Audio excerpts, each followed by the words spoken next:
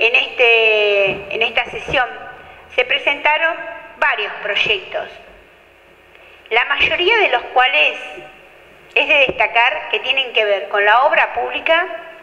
y con los servicios urbanos. Eh,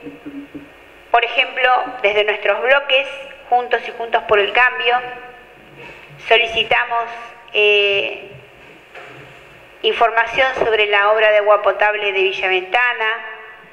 sobre el tema de los escombros que muchas veces son arrojados o intentan arrojarse a, los cursos de agua que hay en Villa Serrana La Gruta,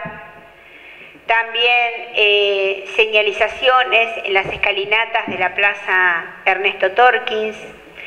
eh, controles nocturnos que tiene que ver un poco esto con la seguridad, pero también es un servicio público. El bloque Frente de Todos también solicitó el mantenimiento de las calles de tierra de la localidad de Torkins, la desratización de la localidad. Esto me hace reflexionar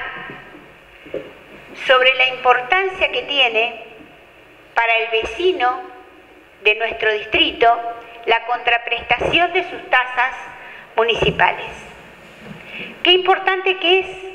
para cada vecino poder ver que el dinero de su contribución mensual a las tasas municipales es devuelto de una manera de prestación o de beneficio, de algún tipo de beneficio en su calidad de vida, ya sea a través de, una obra como puede ser tan importante como la de agua potable,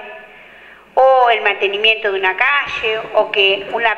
plaza tenga buena señalización cuando hay dificultades, especialmente para personas eh, que poseen algún tipo de discapacidad o de dificultad motriz. Qué importante que es para el vecino ver que su dinero se refleja en obras. Por eso lo quise traer a colación, porque de los nueve proyectos presentados, seis o siete tienen que ver con este tema, con la obra pública y el servicio urbano, que también está de alguna manera en algunos puntos de la mano.